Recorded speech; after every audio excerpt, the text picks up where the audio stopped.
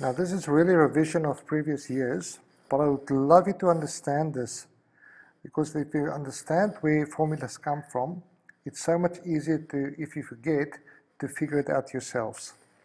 Okay, so the area of rectangles and triangles, all of you should know this, but why is it like this? If I have a rectangle and we call this the length and we call this the width, um, some books calls it, calls it the breadth, so length and width. If I want to know what's the area, I want to know what is the square units.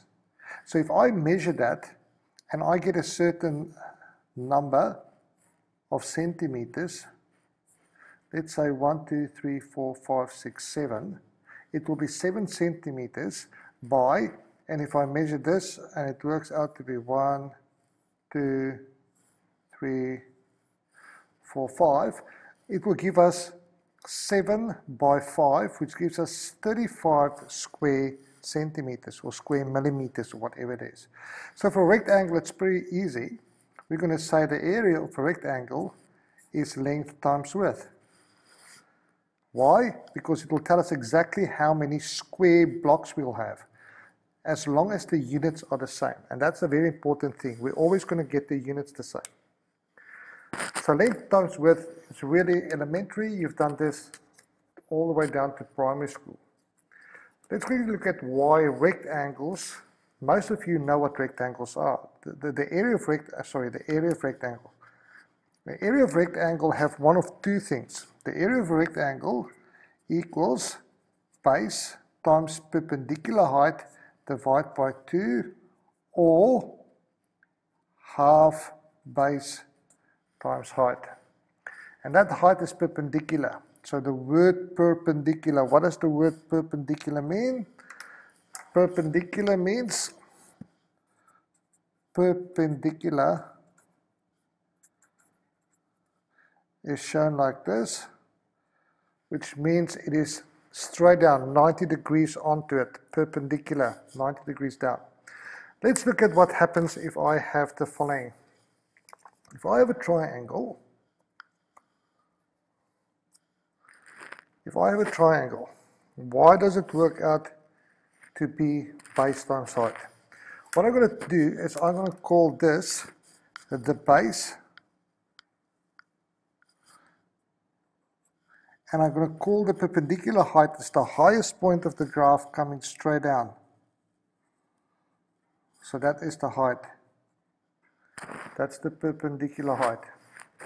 Okay, so what I'm going to do is I'm going to double this. So I'm going to take this and I'm going to double two exactly the same triangles.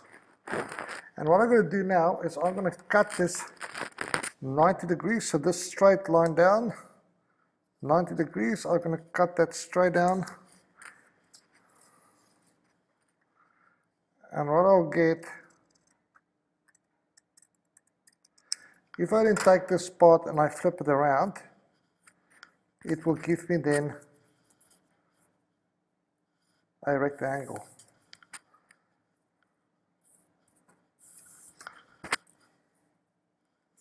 This will give me a rectangle. Okay. And what's the rectangle? The area of a rectangle is length times width. What is the length of this? It is B so we'll say the area equals base times height. This will give us the total area, but I only want half of it. So I'm going to divide it by 2, or I'm going to say it's a half base times height. And that's where the equation comes from. That's where the formula comes from.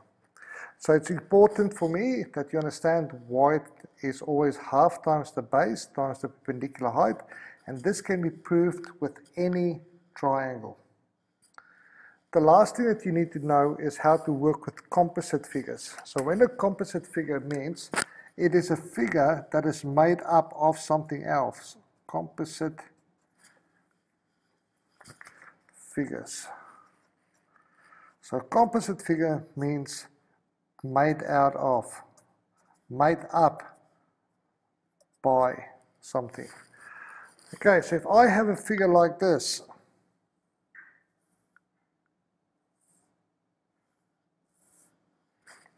then I can say this figure is made up and I can break it up into two parts. I can say if I do have a line here, I'm going to call this figure 1 and I'm going to call this figure 2.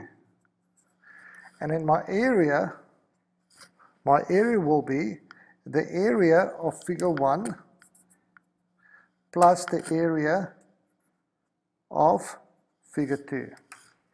For this, it is length times width plus the area for a triangle, it's base times height times divide by 2.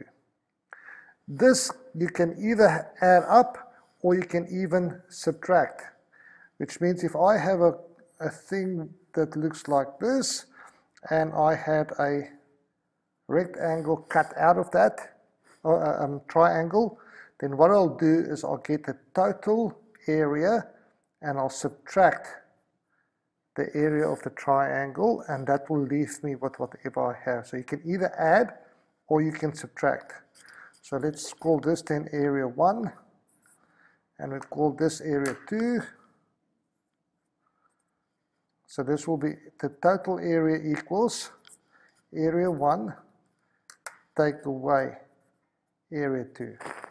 As long as you know what you're doing, um, and as long as you show your steps, doesn't matter which way that you do it around.